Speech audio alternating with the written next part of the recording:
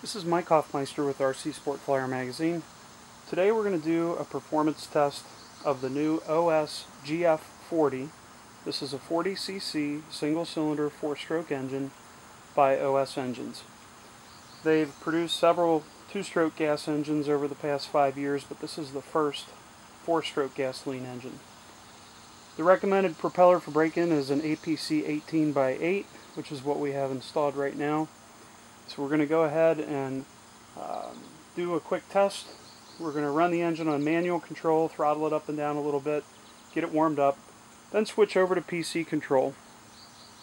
At which point in time the engine will run at idle for 5 seconds, then at 20% throttle for 5 seconds, 40% for 5 seconds, and so on, up until finally 5 seconds of full throttle. And while that's happening, the computer is collecting the data on throttle position, RPM, and thrust.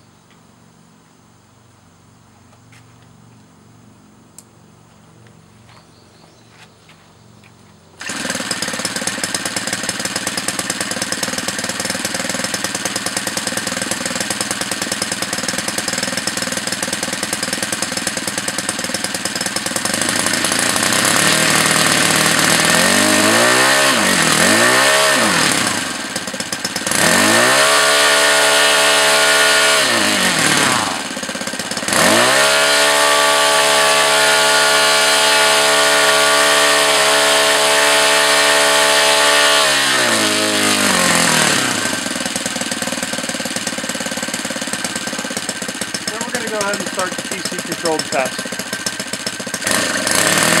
20% throttle.